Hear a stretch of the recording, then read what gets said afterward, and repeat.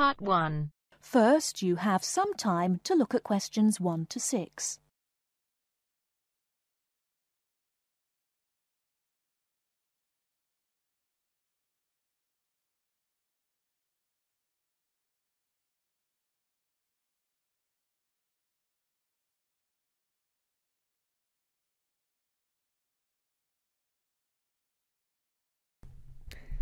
Good morning, Towers Car Insurance. How can I help you? Hello. I was wondering if you could give me a quote for my car, please. I'd like to insure it for a period of 12 months. Certainly. I need to take down a few details first of all. Can I have your name, please? Certainly, it's James Bartolo. Sorry, can you say that again, please? Sure, James Bartolo. That's B A R T O L O. OK, thanks. And your date of birth? It's the 1st of the 8th, 1973. Great. And can you give me your address, please? Sure, it's 146 Eastern Road, Chester. Fabulous. Now, is the insurance for just yourself? No, actually, my wife drives the car too. Her name is Alice Jackson, and her date of birth is the 23rd of the 4th, 1968. That's OK. I just need to write yes or no and the make and model of the car you wish to insure. It's a 1998 Ford Laser. OK. And do you have any idea of the value of the car? Yes, it's around £4,000. I only bought it about a week ago. Before you hear the rest of the conversation, you have some time to look at questions 7 to 10.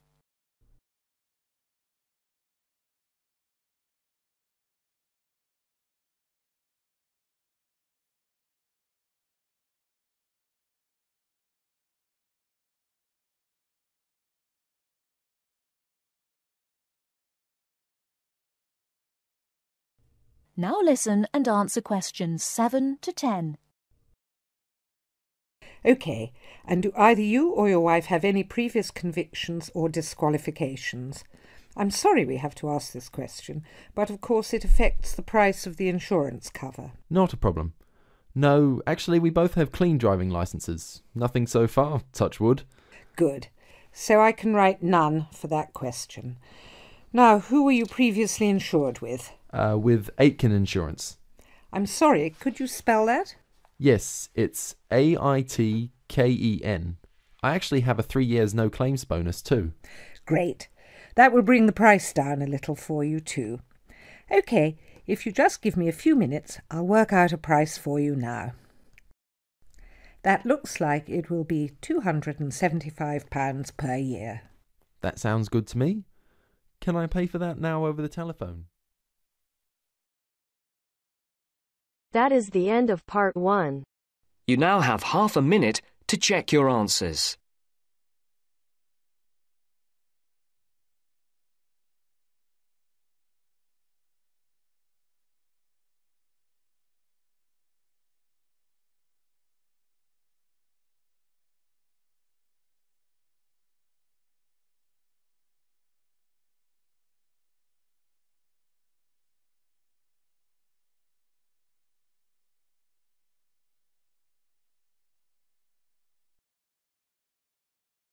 Now turns to Part 2. Part 2. You will hear two students talking about university clubs and societies. First, you have some time to look at questions 11 to 17.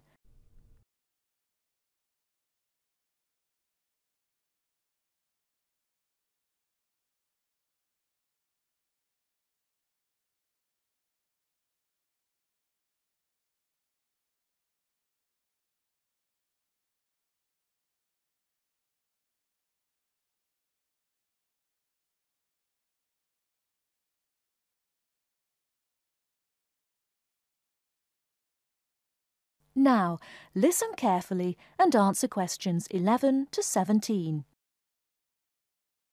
Hello, are you the person to ask about joining a club? Yes, I am. What would you like to know? Well, I'm interested in several things, but I'd like to know more about the different clubs and how much they cost. I'm looking for a small club that's not too expensive. OK. have a look at this table. You can see the names of the clubs, the fees, and the number of members. I'm afraid they aren't in any order. If you look at the top of the list, the first club is table tennis. That's one of our new clubs. Oh, right. So the table tennis club costs £20. That's quite expensive. Yes, it is a bit expensive. The cross country cycling club is cheaper, though. Membership fees are only £15, but on the other hand, it's got a hundred members.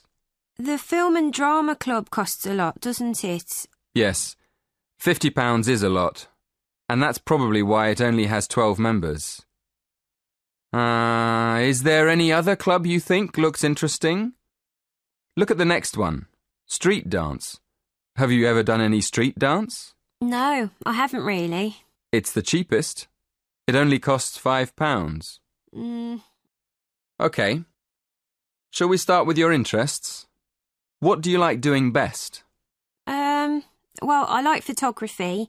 I've got a professional camera, so I take it quite seriously but I can't really imagine belonging to a club to take photographs. I usually go on long walks on my own and take photos. So I like photography, but I wouldn't want to join a club to do it. OK. So what else do you like doing? Running? Oh no, not running. I like walking, but I hate running. I'm afraid the running club isn't for me, or the cycling club. And film and drama? Ah, uh, no, it's far too expensive. But I do like yoga. I've practiced yoga on and off for years. How many members does the yoga club have? It's always a small group. A lot of people sign up at the beginning of term, but they stop going after a few weeks. So they're left with a few regular members every year. That sounds good. I think I'd like to join the yoga club. And what about the contemporary dance club? Is it expensive? Contemporary dance? No. It's not expensive. Ten pounds for the term. Do you like dance? Well, I've never tried contemporary dance, but I do like jazz and tap dance. How often does the group meet? Before you hear the rest of the talk, you have some time to look at questions 18 to 20.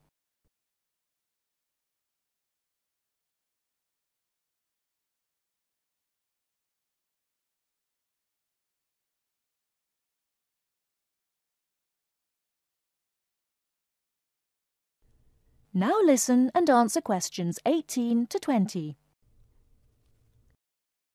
So, can I have your full name, please? Victoria Mandeville.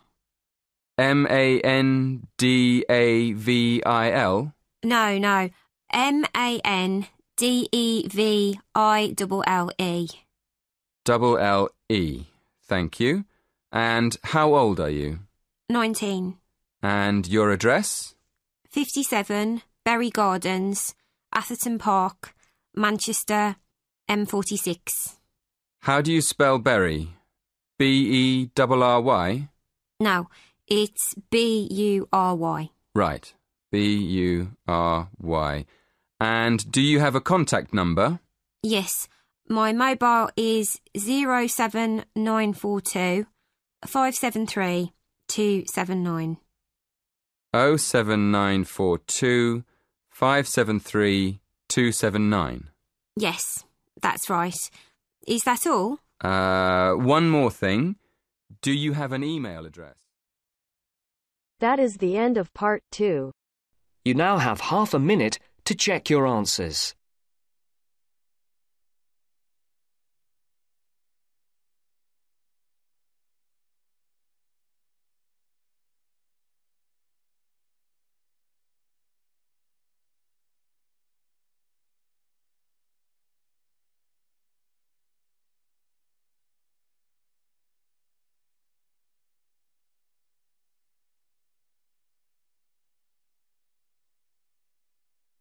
Now turns to part 3. Part 3. You will hear a conversation between two students. One of them is explaining to the other how to use the university library. First, you have some time to look at questions 21 to 24.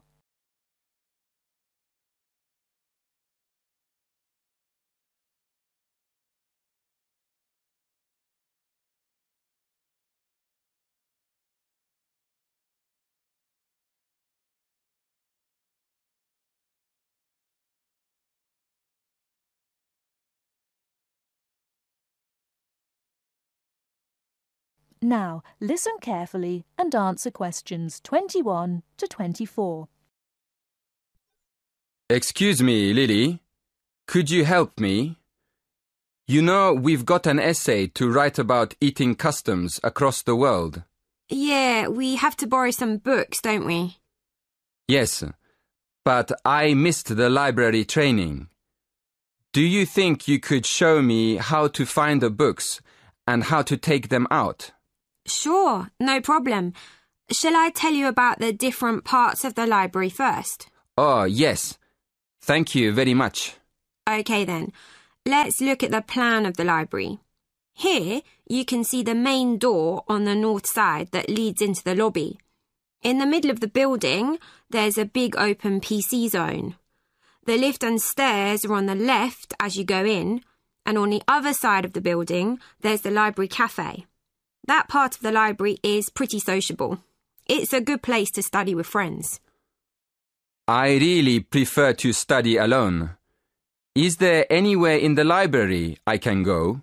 Oh, if you like studying in a quiet place, it's better to go upstairs to the silent zone. As you come out of the lift or up the stairs, you'll see a section on your right facing north, which is closed off. That's the silent zone. On the other side, facing south, are the bookshelves with all the cookbooks and. Before you hear the rest of the talk, you have some time to look at questions 25 to 30.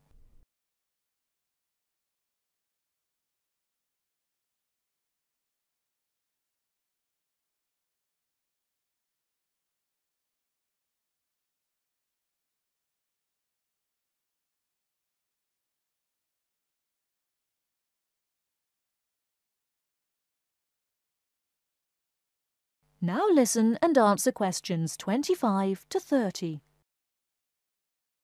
Now, can you show me how to find a book? Well, the library's very big, and the books on food could be under cookery, or they could be in history, or even entertainment.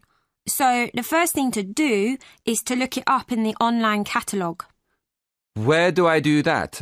It's easy. There are lots of computers in the library for that. Okay, I see. Right, you look up the title first. When you found the book, you'll see it has a class mark next to it. The class mark is one or two letters and a number. Make a note of the class mark. Then look it up on the plan of the library. The plan shows you exactly what section of the library the books are actually kept in. Thank you very much, Lily. So, how do I borrow a book? That's simple too. When you go to the library, you'll have to take your student ID card. When you want to borrow a book, you take it downstairs to the scanner. Then, scan your ID card first. Next, open the book and slide it under the scanner until it makes a sound, a short beep. And that's all you have to do. Oh, sorry, I forgot. At the end, the system prints out a ticket. It's a good idea to keep it for a while just in case you have a problem with your loan. Thanks again, Lily. You've been really kind. That is the end of part 3. You now have half a minute to check your answers.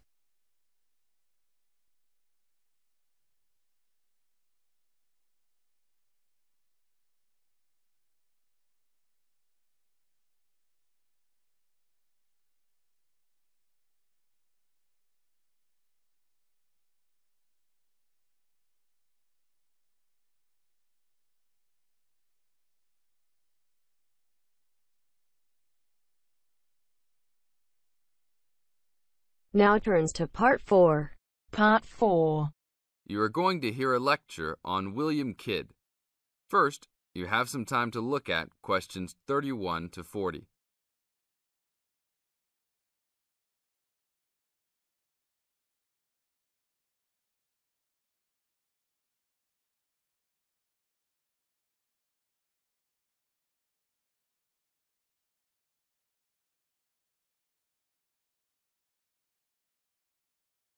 Now listen to the tape and answer the questions.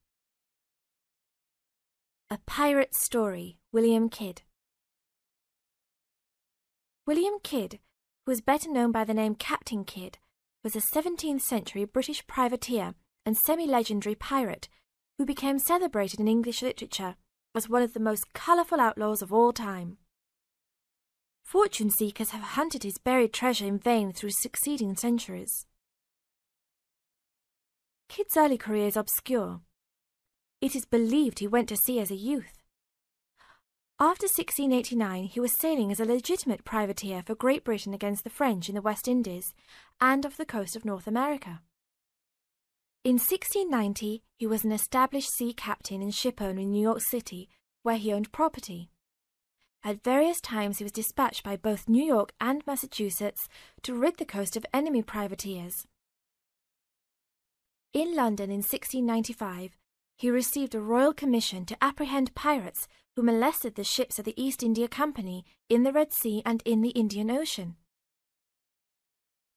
Kidd sailed from Deptford on his ship, the Adventure Galley, on February 27, 1696, called at Plymouth, and arrived at New York City on July 4th to take on more men.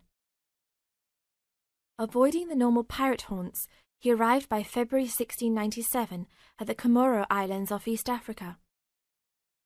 It was apparently some time after his arrival there that Kidd, still without having taken a prize ship, decided to turn to piracy.